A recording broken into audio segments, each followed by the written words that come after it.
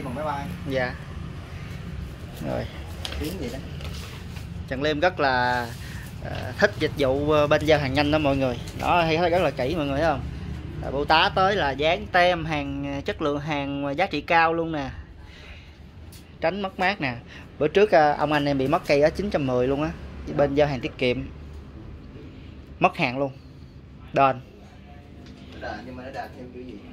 Em cũng chưa biết kết quả sao nữa. Còn đang xử lý á. không đủ á đây mình gửi một cây đàn đi ra Huế nha mọi người.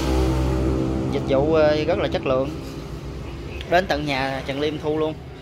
Trần tiệm hôm nay mình gửi đi hai ba cây à. rồi tàu dáng dữ vậy. À là đấy cũng như kiểu như niêm phong luôn đúng không? Đúng rồi, chỉ cần nó xé ra cái quay luôn cả cái cái, cái mã của niêm phong rồi. À. Ở bên đây ờ, mấy mã này là giống nhau hết luôn hả? Không khác nhau chứ. Khác hả? khác nó có một cái số khác nhau hết. À mỗi cái có cái số. Bởi cần nó nó xé ra một cái thôi là nó sẽ rách liền. Dạ. Về kho chặt quá. Rồi mình sẽ phụ anh shipper đem ra ngoài xe nha. Cảm ơn mọi người xem clip